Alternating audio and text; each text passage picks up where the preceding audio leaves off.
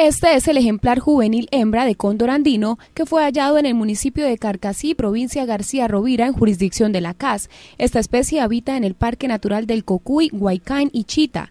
El ave insigne de Colombia fue trasladada hasta el municipio de Huicán, en Boyacá, con el apoyo de Parques Nacionales Nororientales, en donde gracias a Corpo Boyacá será mantenida en encierro, donde hicieron cuarentena los cóndores liberados por esa entidad en febrero pasado. Con la Corporación Autónoma Regional de Boyacá estamos aunando esfuerzos. Ellos tienen un centro donde se le puede prestar toda la atención eh, inmediata de recuperación hasta que reúna las condiciones de tal manera que lo podamos devolver a su hábitat natural. La directora de la casa anunció que se adelantan gestiones que permiten proteger a esta especie en vía de extinción sea la oportunidad también para manifestarle a los santanderianos que eh, a través de esta especie que hemos logrado eh, adquirir y que tenemos en nuestro, en nuestro poder, vamos a iniciar el proceso de investigación con el cóndor. Sabemos que tenemos eh, áreas donde ellos habitan, donde se pueden desarrollar de manera satisfactoria